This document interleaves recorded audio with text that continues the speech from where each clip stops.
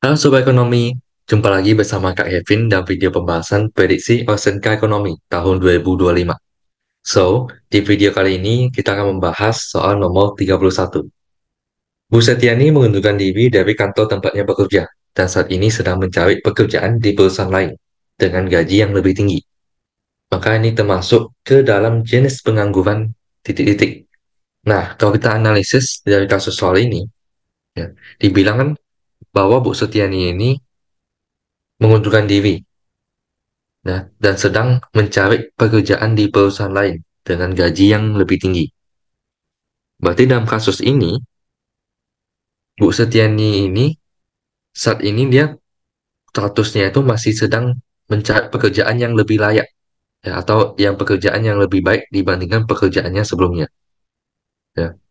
Nah, kalau kita lihat di sini di pilihannya, di sini yang pertama ada pengangguran struktural. Kalau struktural ini kan jenis pengangguran yang terjadi karena adanya perubahan dari struktur perekonomian. Misalkan dari yang perekonomian sifatnya pertanian berubah menjadi industri.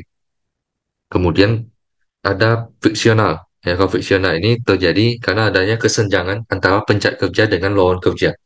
Ya, baik itu kesenjangan waktu, jarak, ataupun informasi. Kemudian ada pengangguran musiman yang terjadi secara berkala, biasanya di sektor pertanian, antara musim tanam dengan musim panen.